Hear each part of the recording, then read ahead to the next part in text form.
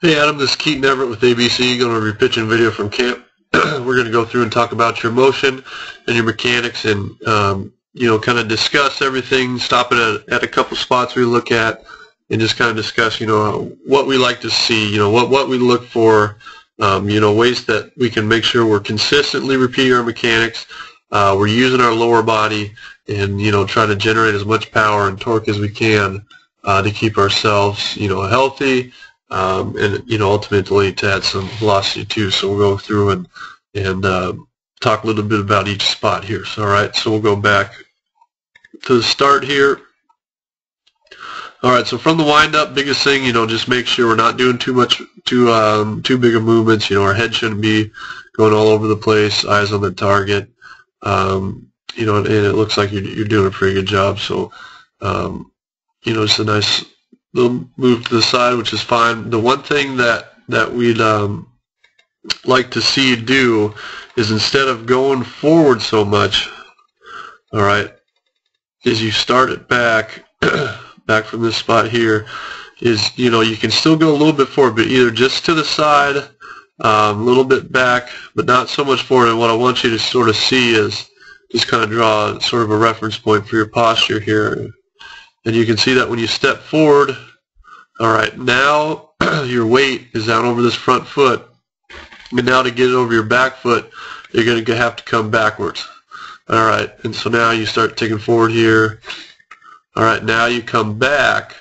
And so what we want to try to do is from that start, from the initial windup, is try to keep your weight over that back foot the whole time. So when you kind of step forward a little bit too much, uh, you know, then, then you kind of have to go backwards. You just kind of make it inefficient.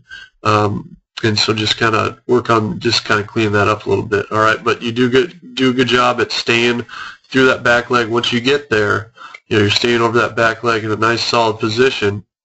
All right, your hips are nice and closed. All right, everything's solid here. Now what we want to try to see, that timing, are the hips start to go forward, the hands start to break. So we watch as we tick forward, you, get the hips going a little bit, hands are breaking. All right, so you, everything's going pretty good here. All right. You know, the biggest thing for our mechanics and velocity is our lower half, is in our hips and our legs. And, you know, it gets easier as you get older and get stronger uh, to generate everything. And, and you already have a pretty good idea, a good sense of, um, you know, how that lower half needs to work. Um, so it'll come a lot easier as you get older and get that strength there.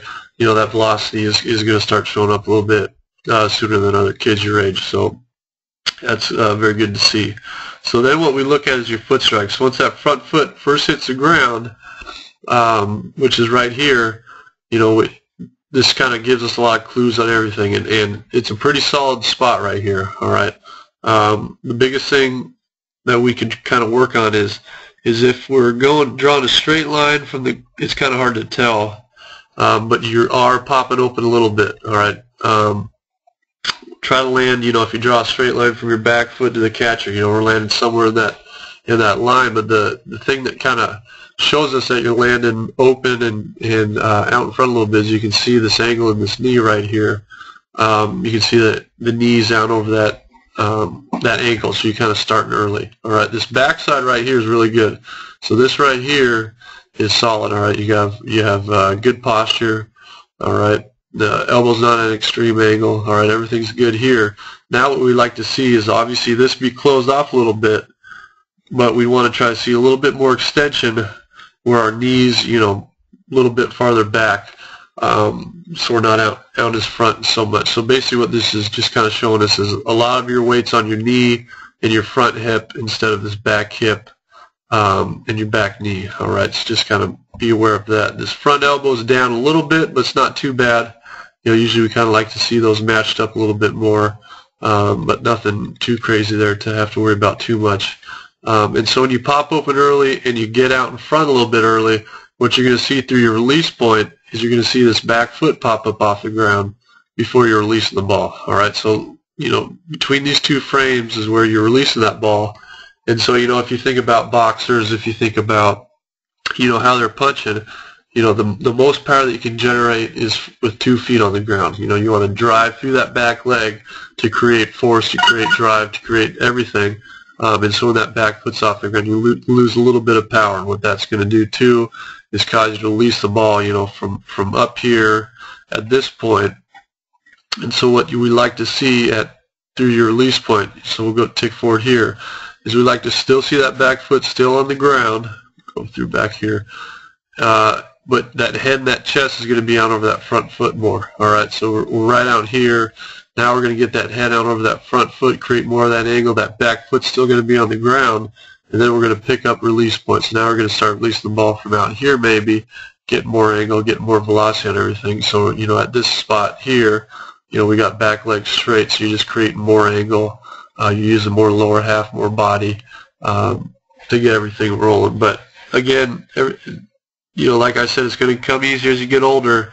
Um, you, you're doing a lot of good things. You can still see the glove out there. It's not getting pulled off.